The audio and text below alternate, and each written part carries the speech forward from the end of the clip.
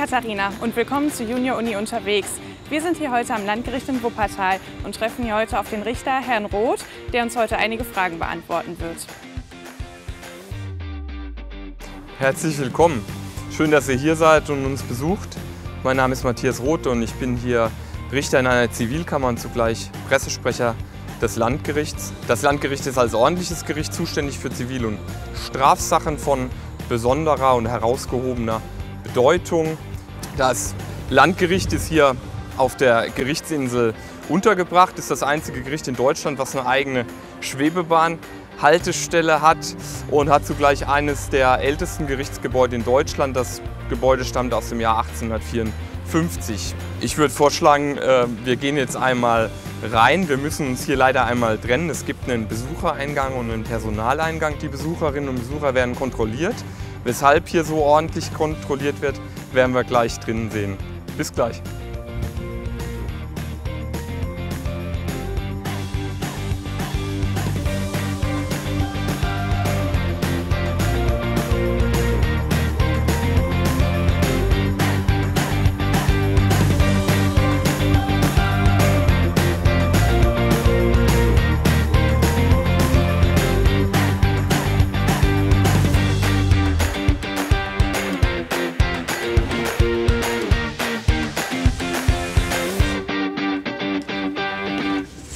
Ja, das ist er, der Schulgerichtssaal. Wie Sie sehen können, ist der Saal hier mit modernster Medientechnik ausgestattet worden. Neben den Bildschirmen, die hier in die Wand und teilweise auch an der Richtertheke und vor dem Zeugentisch befestigt worden sind. Und alle Plätze haben auch sogenannte Sprechstellen. Wenn Sie wollen, können wir das einmal ausprobieren. Dann können Sie beim Zeugenstuhl Ja, ähm, Platz nehmen.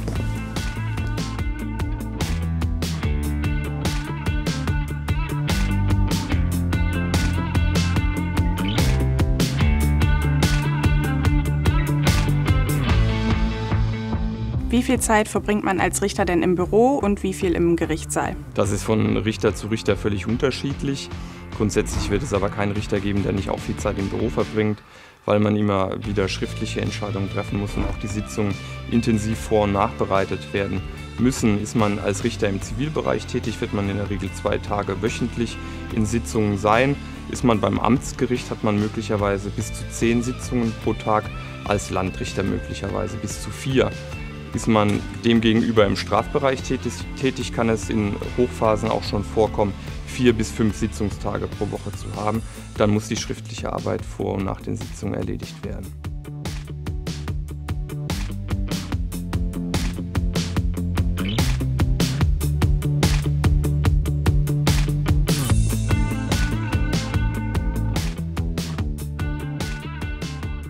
Was war der skurrilste Fall, an den Sie sich erinnern können? Ein äh, durchaus ungewöhnlicher Fall drehte sich vor einiger Zeit um eine Kurzhaar-Chihuahua-Hündin namens Ginger. Ein Paar hatte diese Hündin gemeinsam erworben und sich äh, intensiv um sie gepflegt. Nach der Trennung des Paares entstand ein Streit darüber, bei wem die Hündin bleiben durfte. Als sich dann das in der Zwischenzeit getrennte Paar auf einem Parkplatz traf, nahm der eine Teil dem anderen den Hund weg Beide zogen an der Hündin, die einen blauen Pullover trug. Der Fall wurde dann, nachdem Polizei und Staatsanwaltschaft ermittelt hatten, vor dem Amtsgericht verhandelt und die Angeklagte wurde zu sieben Monaten Gefängnisstrafe verurteilt. Das Urteil ist dann auch vor dem Landgericht bestätigt worden, weil beide Gerichte zu der Auffassung gekommen waren, dass es sich um einen Raub gehandelt hatte, weil eben mit Gewalt der Hund dem anderen weggenommen worden war. Wie häufig kommt sowas denn vor? Solche besonderen Fälle sind eher die Ausnahme. Es überwiegen dann eher die gewöhnlichen Fälle, äh, bei welchen man allerdings nicht vergessen darf, dass sie für die jeweiligen Betroffenen, die dann Parteien oder Beteiligte des Rechtsstreits sind, immer von sehr hoher emotionaler Bedeutung sind. Und da ist es dann auch immer Aufgabe des Richters, empathisch diese besondere emotionale Betroffenheit irgendwie ausreichend zu würdigen und zu versuchen, mit dem Gerichtsverfahren da auch den Beteiligten gerecht zu werden. Und abseits dieser täglichen Fälle gibt es natürlich auch immer wieder sehr traurige und erschütternde Schicksale, mit denen man sich als Richter beschäftigt. Da ist man froh, wenn man gelegentlich auch etwas hat, was einen erheitert. Jetzt habe ich ja im Gericht schon gesehen, wo sich die Häftlinge dort aufhalten. Wo sind die denn, wenn wir nicht gerade mitten im Prozess sind oder in der Verhandlung? Sind die Angeklagten Beschuldigten nicht auf freiem Fuß, werden die in der Regel früh am Morgen mit einem Gefangenentransporter aus den Gefängnissen in die Haftabteilung gebracht, werden dann hier in Empfang genommen und in der Gewahrsamszelle untergebracht, bis die Sitzung dann beginnt. Mhm. Wenn ich an Hafttrag denke, denke ich automatisch auch an Zwischenfälle, die da vielleicht mal passieren können. Passiert sowas häufiger? Glücklicherweise sind bei uns die Sicherheitsstandards, wie wir gleich sehen können, sehr, sehr hoch. Die das Personal, insbesondere die Wachtmeisterinnen und Wachtmeister, sehr gut geschult, sodass wir solche Zwischenfälle noch nicht hatten. Wo man immer so eine unberechenbare Komponente hat, ist allerdings in Sitzungen. Da kann es schon mal vorkommen, dass es zu Störungen kommt. Ähm, wir haben ja schon über die emotionale Betroffenheit gesprochen, die die Beteiligten regelmäßig haben. Beteiligte haben aber auch immer Angehörige, die emotional hoch ergriffen sind, sich zu Störungen hinreißen lassen.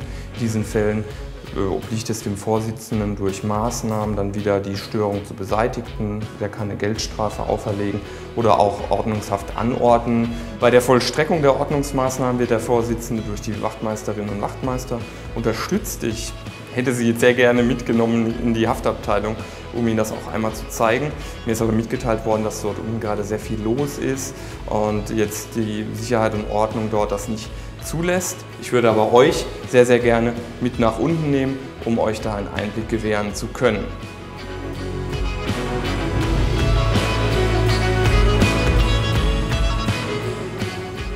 Wie ist denn der Ablauf im Hafttrakt? Es ist so, dass die Gefangenen grundsätzlich ganz früh am Morgen mit Transportern aus den Gefängnissen hierher gefahren werden. Diese Transporter die können bis vor die Haftabteilung fahren.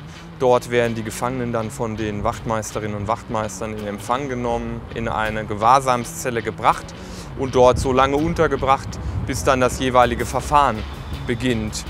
Von wo aus sie dann mit einem Fahrstuhl direkt in den Sitzungssaal gefahren werden können. Dieser Fahrstuhl hat den Vorteil, dass dem Beschuldigten erspart, möglicherweise in Handschellen durch den ganzen Gerichtsflur gebracht zu werden und verhindert, dass ein Beschuldigter, ein Angeklagter, der in Handschellen durch den Gerichtsflur gebracht wird, schon vor rechtskräftigem Abschluss des Urteils als vorverurteilt gilt. Denn jeder Beschuldigte, der sich einem Verfahren zu verantworten hat, gilt bis zum Abschluss des Verfahrens als unschuldig.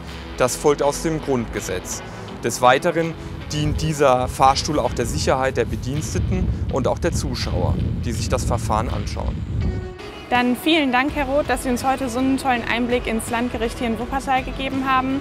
Und ich bin mir sicher, äh, dass ganz viele Fragen, die man sonst nicht stellen kann, beantwortet wurden. Ja, ich möchte mich auch bedanken. Das hat äh, unheimlich viel Spaß gemacht und wir hoffen, dass wir Ihnen, aber vor allen Dingen euch tolle Einblicke in den Ablauf bei Gericht haben bieten können und dass das Interesse an der Justiz hoch bleibt.